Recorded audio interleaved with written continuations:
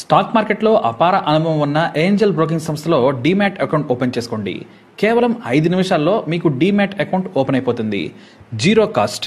మీరు ఒక్క రూపాయి కూడా పే చేయని అవసరం లేదు. కేవలం మీ దగ్గర ఉండవలసింది మీ PAN card Aadhaar card bank account. ఈ వీడియో కింద ఉన్న లింక్ క్లిక్ చేస్తే కేవలం ఐదు నిమిషాల్లోపే డీమ్యాట్ అకౌంట్ ఓపెన్ చేసి ట్రేడింగ్ కూడా స్టార్ట్ చేసేయచ్చు.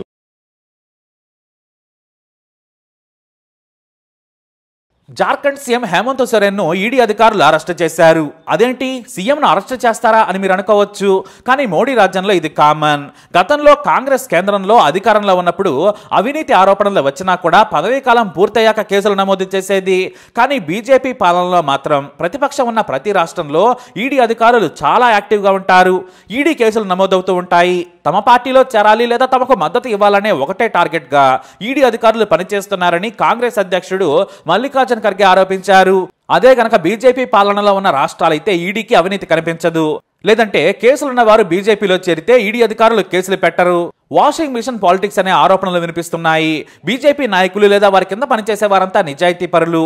వ్యతిరేకంగా మాట్లాడిన యూపీఏతో కలిసి పనిచేసిన అవినీతి పరులేననేది నేటి స్తోత్రం అలా అని ఈడీ అరెస్ట్ చేసిన వారేమీ నిజాయితీ పరులని కాదు సుమా. ఎందుకంటే ఆధారాలు కూడా చూపిస్తోంది ఎన్ఫోర్స్ డైరెక్టరేట్. అందుకే తప్పు చేసి మరీ ఈడీకి దొరికిపోతున్నారనే కమెంట్ కూడా మేధావి వర్గం నుంచి వినిపిస్తున్న ప్రశ్న. ఇక జార్ఖండ్ సీఎం హేమంత్ సోరెన్కు భూ కుంభకోణంకు సంబంధించి మనీ లాండరింగ్ కేసులో ఈడీ కేసులు నమోదు చేసింది. ఈ కేసులో పద్నాలుగు మందితో పాటు ఏకంగా రెండు వేల పదకొండు బ్యాచ్కు చెందిన ఐఏఎస్ అధికారి చావి రంజన్న కూడా ఈడీ అరెస్ట్ చేసింది. ఈ కేసులో కీలక వ్యక్తి కోల్కతాకు చెందిన వ్యాపారి అమిత్ కుమార్ అగర్వాల్. ఇతనే భూమి తీసుకొని కోట్లాది రూపాయలను నాయకులు అధికారులకు పంచారని అరెస్ట్ చేసింది. భూమిని చీప్గా కొట్టేసేందుకు నకిలీ డ్రాఫ్ట్లు నకిలీ పత్రాలు నకిలీ కంపెనీలను సృష్టించి భూమిని బదలాయించారు. ఇందుకోసం సీఎంగా ఉన్న హేమంత్ సోరెన్ భారీగా డబ్బు తీసుకున్నారనేది ఆరోపణ. రాంచీలోని కీలక ప్రాంతంలో ఉన్న దాదాపు ఐదు ఎకరాలను ఫేక్ డీడ్స్ ద్వారా జగత్ బంధు రియల్ ఎస్టేట్ కంపెనీకి బదలాయించారు. ఇది అమిత్ కంపెనీ. ఇతనే కీలక నేరస్తుడు. తక్కువ ధరను చూపించి దాదాపు డెబ్బై నాలుగు కోట్ల భూమిని కొట్టేశారనేది ఆరోపణ. ఇవి కాకుండా ఆర్థిక నేరాలు కూడా ఉన్నాయి. డబ్బును స్వీకరించేందుకు తప్పుడు హవాలా మార్గాలను అనుసరించారని ఈడీ ఆరోపిస్తోంది. ఈ కేసులోనే హేమంత్ సోరెన్ను ఈడీ ప్రశ్నించాలనుకుని నోటీసులు ఇచ్చింది. కానీ సడన్గా హేమంత్ సొరెన్ కనిపించకుండా పోయారు. ఆ తర్వాత హఠాత్తుగా రాంచీలో కనిపించారు. చివరకు ఏడు గంటల పాటు ఈడీ హేమంత్ సోరెన్ ప్రశ్నించింది. ఆ తర్వాత తన రాజీనామా లేఖను గవర్నర్కు అప్పగించిన తర్వాత ఈడీ ముందు లొంగిపోయారు హేమంత్ సొరెన్. అయితే ఇది రాజకీయ కుట్ర అనేది హేమంత్ సోరెన్ ఆరోపణ. అందుకే ఈడీ అధికారులపై పోలీసు కేసు కూడా పెట్టారు ఆయన. సుప్రీంకోర్టులో కూడా తన అరెస్టును సవాలు చేశారు.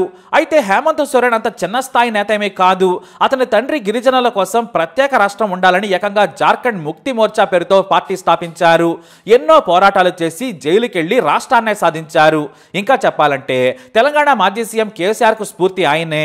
తెలంగాణ ప్రత్యేక ఉద్యమానికి కూడా సిబు సొరెన్ మద్దతు తెలిపారు. ఆ రాష్ట్రంలో సిబు సొరెన్ ఒక గొప్ప పేరున్న నాయకుడు. ఆయన వృద్ధాప్యంతో కొడుకుకు పార్టీని అప్పగించారు.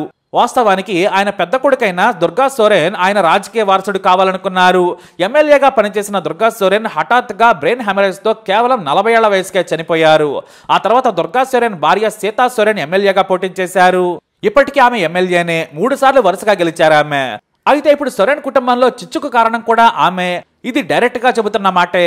మరి సొంత వదిన అది కూడా ఒకే పార్టీకి చెందిన ఎమ్మెల్యే ఎందుకు ఎదురు తిరిగింది? ఇక్కడే పెద్ద లేడీ పంచాయతీ ఉంది. ఈడీ అరెస్ట్ తప్పకపోవడంతో హేమంత్ సోరెన్ తన భార్య కల్పనా సోరెన్ సీఎంగా చేయాలని ప్లాన్ చేశారు. ఎమ్మెల్యేలను కూడా ఒప్పించారు.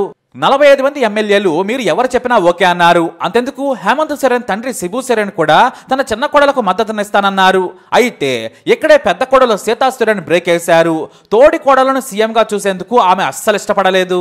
నాకంటే వయసులో చిన్నది పైగా ఎమ్మెల్యేగా కూడా గెలవలేదు. ఆమెకు ఎలా సీఎం పదవి ఇస్తారు? సీనియర్లు ఎంతోమంది పార్టీలో ఉన్నారు. వారికి ఇవ్వాలి. ఇంకా కుటుంబం నుంచి కావాలి అనుకుంటే నేను అర్హురాలని కదా. పద్నాలుగేళ్ళుగా ఎమ్మెల్యేగా పనిచేస్తున్నాను. నాకేం తక్కువ. నాకు అనుభవం కూడా ఉందన్నారు హేమంత్ సోరెన్ వదిన సీతా సోరెన్. దీంతో కుటుంబంలో చీలిక మొదలైందని అది కాస్త పార్టీకి ప్రభుత్వానికి ఇబ్బంది అవుతుందని హేమంత్ సోరెన్ వెంటనే భయపడిపోయారు. కాకపోతే ఆయన ఆలోచించింది ఏంటంటే ఎంబీఏ చదివిన తన భార్య ప్రభుత్వ వ్యవహారాలను చక్కబెట్టగలదు అనుకున్నారు ఆయన. మంచి వాక్చాతుర్యం కూడా కల్పన సొంతం. కానీ తోడి కోడలు సడన్ బ్రేక్ వేసేశారు. బహిరంగంగానే కల్పనా సోరెన్ సీఎం అయ్యేందుకు ఒప్పుకోనడంతో హేమంత్ సోరెన్ వెనుకడక వేయక తప్పలేదు. పార్టీలో సీనియర్ నేతైన చంపయ్యని శాసనసభ పక్ష నేతగా ప్రకటించారు. ఆయన ఇప్పుడు తదుపరి సీఎం అంటూ ప్రకటించారు హేమంత్ సోరెన్. సెరికల అసెంబ్లీ స్థానం నుంచి వరుసగా ఆరుసార్లు గెలిచిన చంపయ్యకి జార్ఖండ్లో మంచి పేరుంది. జార్ఖండ్ టైగర్గా ఆయన పిలుస్తారు. అయితే శిబు సోరెన్కు ఈ కొత్త సీఎం చంపయ్య సోరెన్కు ఎలాంటి బంధుత్వం లేదు. పూర్తిగా ఇతను బయట వ్యక్తి మాత్రమే. కొన్ని గిరిజన కుటుంబాలు సొరెన్ అనే ఇంటి పేరును మాత్రమే కలిగి ఉంటాయంతే వాస్తవానికి తన పెద్ద కోడలైన సీత భర్తే సీఎంగా ఉండాలి. కానీ అనూహ్యంగా అతను చనిపోయాడు. దీంతో తమ్ముడికి అవకాశం వచ్చింది.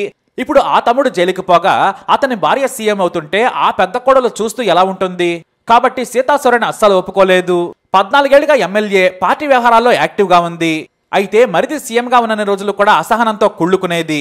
రెండు వేల ఇరవై రెండులో బీజేపీ తన ప్రభుత్వాన్ని కూల్చేయడానికి కుట్రలు చేస్తోంది అని హేమంత్ సోరెన్ మొత్తుకుంటుంటే ఆయన వదిన అంటే ఈ సీతాసురన్ బహిరంగంగా హేమంత్ ఏమీ తక్కువ కాదు భూముల్ని భోంచేసేస్తున్నాడు అని ఆరోపణలు చేసేది. విలువైన ఖనిజ సంపద ఉన్న రాష్ట్రాన్ని లూటీ చేస్తున్నాడు అని విమర్శించేది. పలు ఆరోపణలు డైరెక్ట్ గానే చేస్తూ కేంద్ర హోంమంత్రి అమిత్ షాను ఈడీని ట్యాగ్ కూడా చేసింది.